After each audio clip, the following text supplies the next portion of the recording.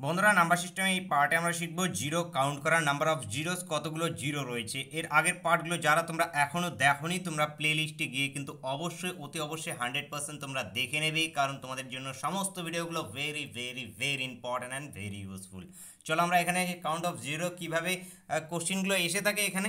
তো এখানে কি করতে লাগে? একটা তোমাদের এখানে ইকুয়েশন দিয়ে দেওয়া হবে। ইকুয়েশনটা one into two into five করে করতে করতে যত সম্ভবত চলে যেতে পারে। এবার বলা হবে যে কোশ্চিনটাতে যে এটাকে যদি গুণ করার পর যে রেজাল্টটা বেরিয়ে আসবে, সেই রেজাল্টে কতগুলো জিরো থাকবে? সবসময় জিরো বলতে এরকম বোঝায় না যে one zero five zero two zero zero এরকম বলতে এখানে একটা, দুটো, তিনটে, চারটে চারটে জিরো আছে। এরকম কোশ্চিনটাকে বোঝায় না। কোশ্চিনটা বোঝায় কি? লাস্টে এর কতগুলো জিরো হবে? এই জিনিসটা কোশ্চিনটাকে বোঝায়। তাহলে মনে রাখবে যে লাস্টে কতগুলো জিরো হবে? এই জিনিসটাই কোশ্চিনটা বোঝায় যে মোট কতগুলো শূন্য রয়েছে। যেমন এখানে তোমরা ধরে নাও, এখানে ফার্স্ট যে কোশ্চিনটা রয়েছে এখানে এক ইন্টু দুই ইন্টু তিন ইন্টু চার ইন্টু এখানে সরি একটা চার হতো এখানে। চার ইন্টু পাঁচ ইন্টু করে ডট ডট করে যাচ্ছে। এইবার এইখানে তোমাদের বলা হয়েছে কতগুলো শূন্য রয়েছে। এবার শূন্য একটা সংখ্যার মধ্যে, একটা সিরিজের মধ্যে শূন্যটা আসে কীভাবে সেটা আমাদেরকে প্রথমে এখানে বুঝতে লাগবে। তাহলে শূন্য হওয়ার জন্য কি দরকার? শূন্য আমাদের কত? দশ থেকে শুরু হয় শূন্য। দশ, কুড়ি, তারপর কত? তিরিশ, এভাবে করে। এগুলোতে শূন্য রয়েছে একমাত্র।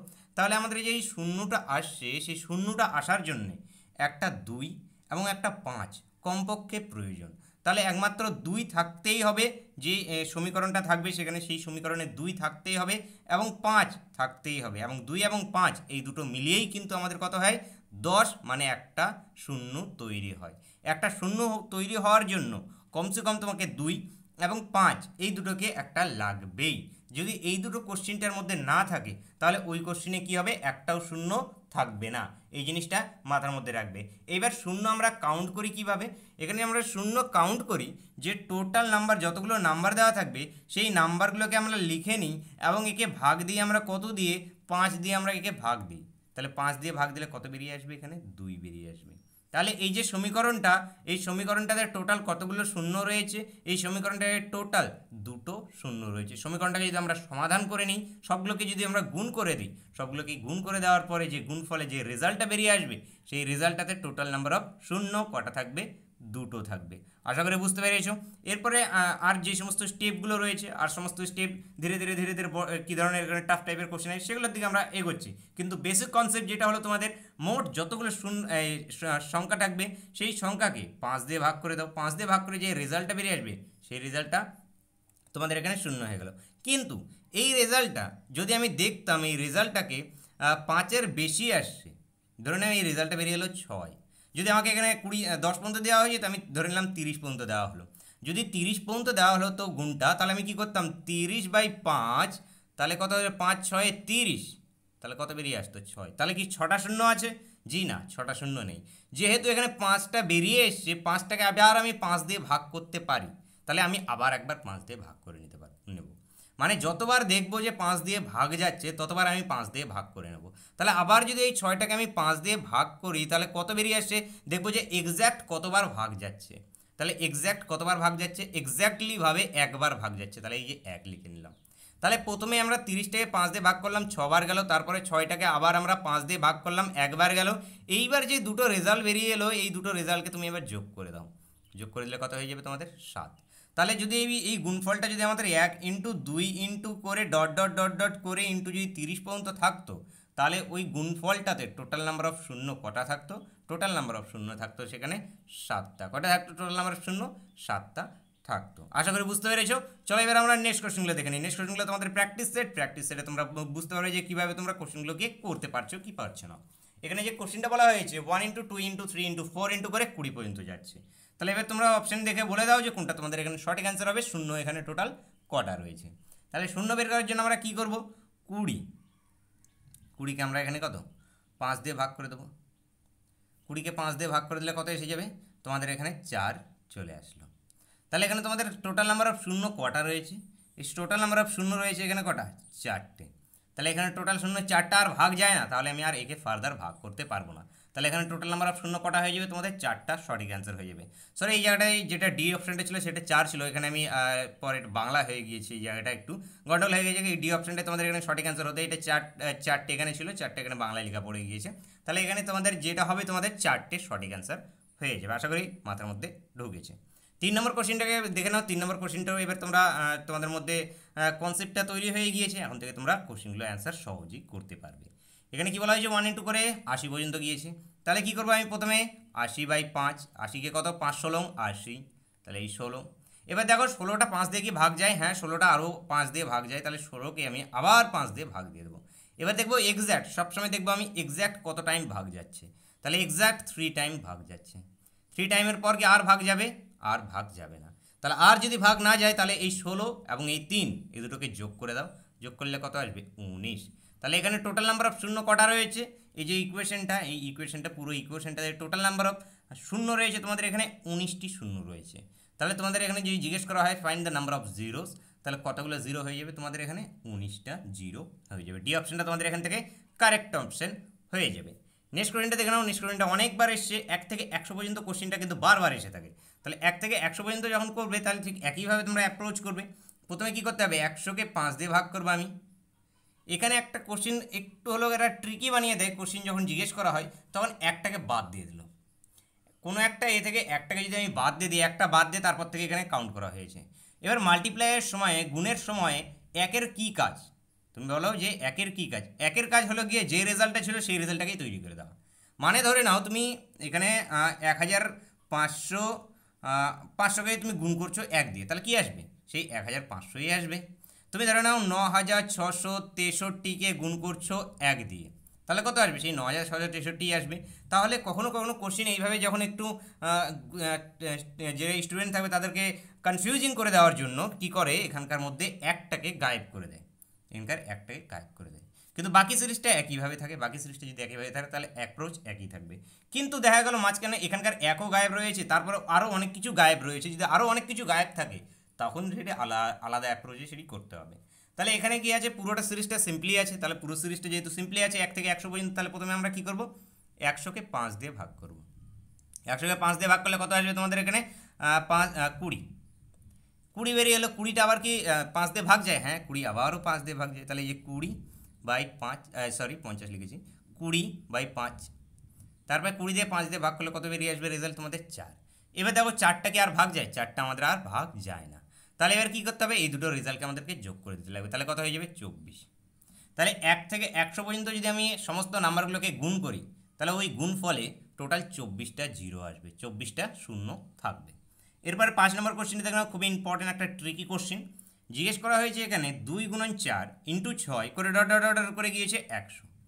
এইবার এখানে তোমাদের কি বললাম? যে কমসে কম একটা ইকুয়েশনে তৈরি হওয়ার জন্য কমসে কম তোমাদের এখানে দুটো জিনিস লাগবে। জিরো বের করতে গেলে দুটো জিনিস লাগবে। একটা হলো গিয়ে দুই আর একটা কি লাগবে তোমাদের পাঁচ। এবার এখানে দুই আর পাঁচ কি আছে? আমি তো দেখতে পাচ্ছি দুইটাও দেখতে পাচ্ছি, কিন্তু পাঁচ আছে। মনে হচ্ছে পাঁচ নেই, কিন্তু পাঁচ আছে। কোথায় পাঁচ আছে? দশ। এই দশের মধ্যে দেখো পাঁচ আছে। পাঁচ গুণন দশ। কারণ জোড় সংখ্যা যাচ্ছে, জোড় সংখ্যাগুলো মিডলের সমস্ত জোড় সংখ্যাগুলো এখানে নেওয়া হয়েছে। ঠিক একইবারে একইভাবে এক জায়গায় গিয়ে আমি পাবো কত? কুড়ি।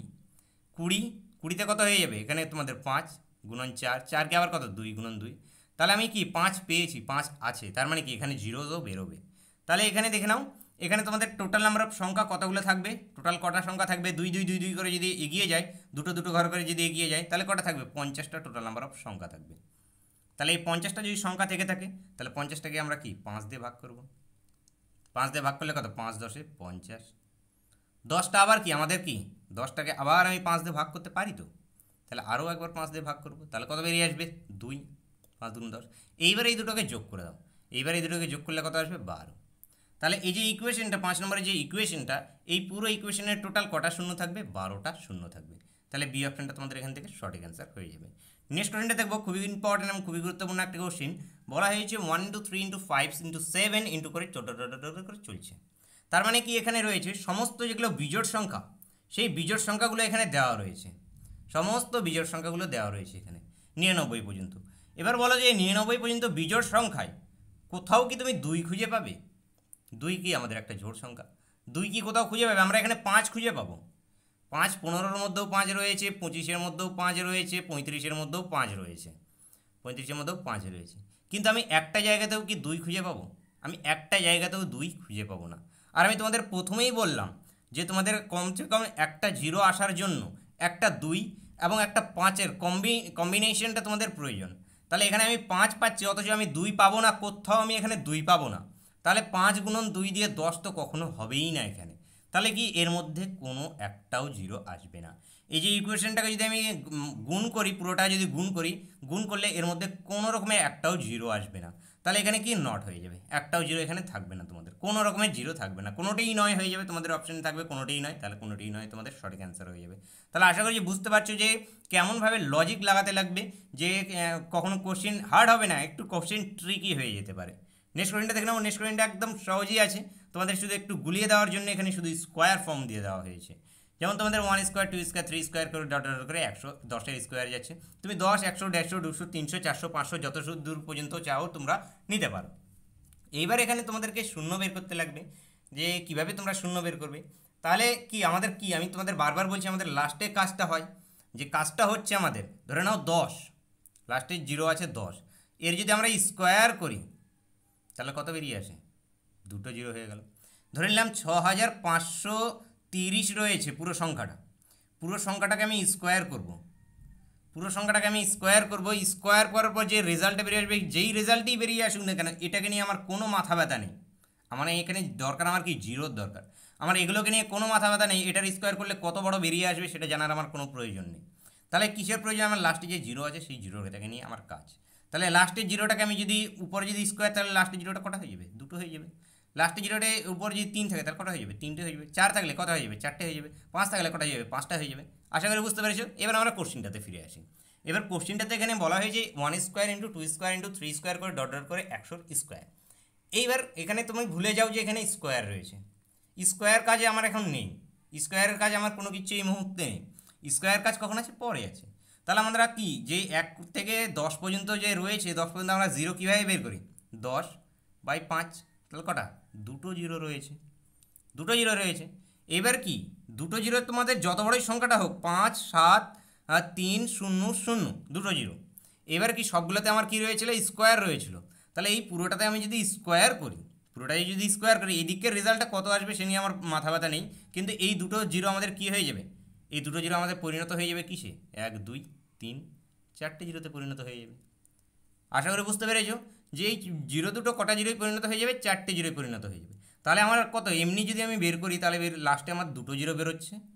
তাহলে আমার যেহেতু স্কোয়ার ফর্মে রয়েছে, তাহলে এই দুটো জিরোকে আবার আমি স্কোয়ার করে দিই, তাহলে কত হয়ে যাবে? চারটে জিরো হয়ে যাবে। তাহলে টোটাল কয়টা জিরো বেরিয়ে আসবে? চারটে জিরো বেরিয়ে আসবে। কিচ্ছু না, তোমার যদি স্কোয়ার থাকে কিউব থাকুক বা তোমাদের সেভেন থাকুক এইট থাকুক নাইনটি নাইন থাকুক, যাই থাকুক না কেন জাস্ট কিচ্ছু না, তোমাদের যে নর্মাল যে ফর্ম আছে, সেই নর্মাল ফর্মে তুমি প্রথমে আগে জিরোটাকে বের করে নাও। এরপরে জিরোটাকে বের করে নেওয়ার পরে এবার তুমি পাওয়ারে দেখে নাও যে পাওয়ার কত রয়েছে। এবার পাওয়ার যত রয়েছে যেই রেজাল্টটা বেরিয়ে এলো সেই রেজাল্টটাকে তুমি অতটুকু পাওয়ার করে দাও তাহলে তোমাদের অ্যান্সার হয়ে গেল। এরপর আট নম্বরটা দেখে নাও আট নম্বরটা ঠিক একইভাবে। যে আমরা দশ পর্যন্ত প্রথমে বের করব দশ পর্যন্ত কী হবে? দশ পর্যন্ত আমাদের কটা জিরো বেরিয়ে আসছে দশ পর্যন্ত দুটো জিরো বেরিয়ে আসে উপরে কী রয়েছে? কিউব রয়েছে উপরে আমি কিউব করে দেবো। তাহলে কত? আহ, দু- দুইয়ের কিউব কত হয়ে যাবে? আট। তাহলে এই ইকুয়েশনটার টোটাল নাম্বার অফ জিরো কত রয়েছে? আটটা জিরো রয়েছে সেই অপশন তোমাদের এখান থেকে কারেক্ট হয়ে যাবে। এবার নয় নম্বরটা করব very very very very very important একটি কোশ্চেন এখানে কী বলা হয়েছে? একান্ন, বাহান্ন, তিপ্পান্ন করে একশো পর্যন্ত গিয়েছে। এবার এখানে কতগুলো জিরো রয়েছে আমাকে সেটা বের করতে হবে। আমরা এতক্ষণ ধরে শিখছিলাম, কী শিখছিলাম? যে এক থেকে একদম শিখছিলাম। কিন্তু হঠাৎ করে এখানে মিডিল থেকে দিয়ে দেওয়া হয়েছে। তাহলে মিডিল থেকে যদি দিয়ে দেওয়া হয়, তাহলে এই যে আমি ধরে নিলাম, এটা আমাদের সিরিজটা। এক থেকে একশো পর্যন্ত নাম্বার। এক থেকে একশো পর্যন্ত নাম্বার। এবার আমাদের এক থেকে পঞ্চাশ পর্যন্ত এদিকের নাম্বারের আমার কোনো কাজই নেই। মানে এক থেকে পঞ্চাশ পর্যন্ত কোনো কিছু আমাদের বলেনি। এক থেকে পঞ্চাশ পর্যন্ত কিছু বের করতে আমাদের বলেনি। বলেছে কি, এখানে একান্ন থেকে এখানে একশো পর্যন্ত আমাদের সব কিছু বের করতে হবে। তাহলে আমাকে একান্ন থেকে এই জায়গাটাতে বের করতে হবে। তাহলে আমি কি করতে পারি? আমি এটা করতে পারি, এক থেকে একশো পর্যন্ত প্রথমে বের করতে পারি, পুরোটা বের করে নিতে পারি। তারপরে আমি কি করব? তারপরে আমি করব এখানে আবার এক থেকে পঞ্চাশ পর্যন্ত বের করব। তাহলে এক থেকে একশো পর্যন্ত প্রথমে বের করে, তারপরে এক থেকে পঞ্চাশ পর্যন্ত বের করব। তারপর আমি কি করব? এক থেকে একশো পর্যন্ত যে রেজাল্টটা বেরোবে তার থেকে আমি পঞ্চাশ পর্যন্ত রেজাল্টটাকে বাদ দিয়ে দেবো। মানে এই পুরোটা থেকে, এই পুরোটা থেকে আমি জাস্ট এই পোর্শনটাকে বাদ দিয়ে দেবো। তাই এই পোর্শনটাকে যদি বাদ দিয়ে দিই, তাহলে আমার পড়ে থাকবে রেজাল্টে কোনটা? এই পোর্শনটা পড়ে থাকবে এবং আমাদের এই পোর্শনটাই বের করতে বলা হয়েছে। তাহলে কি করতে লাগবে প্রথমে আমাদেরকে? প্রথমে আমাদেরকে করতে লাগবে যে এক থেকে এক গুণন, দুই গুণন, তিন গুণন করে যে একশো পর্যন্ত গুণন হচ্ছে, সেই গুণনের প্রথমে মানটা বের করে নিতে লাগবে। তাহলে একশো পর্যন্ত আমি তোমাদের এতক্ষণ ধরে করে দেখালাম। কটা করে বেরিয়ে আসছে? চব্বিশটি করে বেরিয়ে আসছে। এক থেকে একশো পর্যন্ত। নাহলে তোমরা বের করে নাও। একশো বাই পাঁচ, কত এসে যাবে? কুড়ি। তারপর এখানে কত? কুড়ি বাই পাঁচ, এখানে কত চলে আসবে? চার। তাহলে কুড়ি আর চারে তোমাদের চব্বিশ। তাহলে টোটাল কত বেরিয়ে চলে আসবে? এখানে তোমাদের চব্বিশটি বেরিয়ে চলে আসবে।